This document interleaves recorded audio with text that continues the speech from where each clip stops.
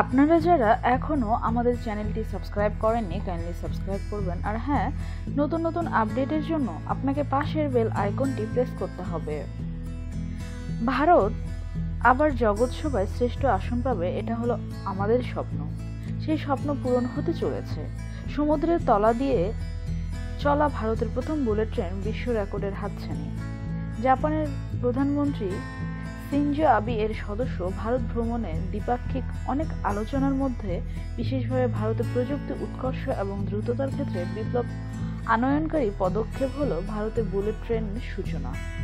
উনিশশো ষাটের দশকে জাপানে প্রযুক্তির এক আশ্চর্য আবিষ্কার হিসেবে বুলেট ট্রেনের সূচনা হয়। ভারতে তখন তা ছিল এক বিলাসিতা। কিন্তু একুশের দশকে এসে যখন সার্বিক উন্নয়ন ভারতের ঘটে চলেছে, তখন প্রযুক্তির উন্নতি আকাঙ্ক্ষাটি ভারতের স্বাভাবিক একটি চাহিদা। তবে এক্ষেত্রে তার কিছু আন্তর্জাতিক বন্ধুর প্রয়োজন, যার অভাব পূরণ করেছে জাপান। চীনের সঙ্গে বাড়তে থাকা আঞ্চলিক উত্তেজনায় নিজের পক্ষকে শক্তিশালী করতে জাপান যেমন ভারতের অনুসারী, তেমনই জাপানকেও ভারত তার ক্রমস্থিত বাজারের দ্বারা নিজের দিকে আকর্ষণ করতে পারছে। এর ফলে বুলেট ট্রেনের মতো অভিনব প্রযুক্তি আজ ভারতের ধরাছোঁয়ায় আসতে পারছে।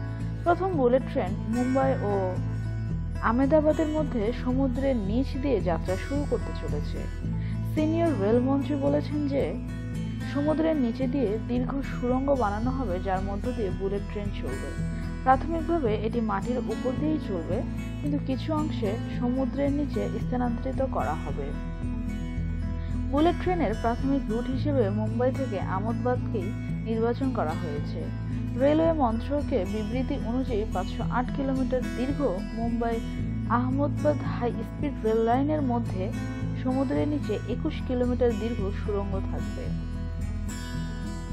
প্রকল্পটি বাস্তবায়িত করে যে লাইনের অধিকাংশ অংশ মাটির উপরে থাকবে, তবে জেআইসিএ দ্বারা গঠিত কিছু অংশ সমুদ্রের নিচে থাকবে। এটা জানা গেছে যে প্রকল্পের জন্য একাশি পার্সেন্ট তহবিল জাপান সরবরাহ করবে এবং মোট খরচের আনুমানিক হিসাব দাঁড়িয়েছে সাতানব্বই হাজার ছশো ছত্রিশ কোটি টাকা। দু হাজার আঠারো সাল থেকে কাজ শুরু হবে।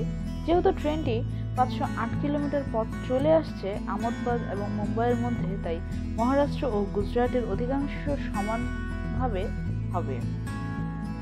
এক পার্সেন্ট বার্ষিক সুদের হারে পঞ্চাশ বছরের জন্য ঋণ নেওয়া হবে। সমস্ত উপকরণ ও স্টক জাপান থেকে আমদানি করা হবে। অফিসিয়াল তথ্য অনুযায়ী, বছরের প্রথমেই ঋণ চুক্তি স্বাক্ষরিত হবে। এই জন্য railway, national high speed rail corporation limited এবং স্পেশাল পারপাস ভাইকেল এর নির্মাণ করছে। ট্রেনের অপারেটিং গতি আনুমানিক তিনশো পঞ্চাশ কিলোমিটার। বর্তমানে দুরন্ত এক্সপ্রেস সাত ঘন্টায় এই একই দূরত্ব অতিক্রম করতে পারে। ভিডিওটি যদি আপনার ভালো লেগে থাকে, অবশ্যই লাইক, কমেন্ট করে আমাদের পাশেই থাকবেন। ধন্যবাদ।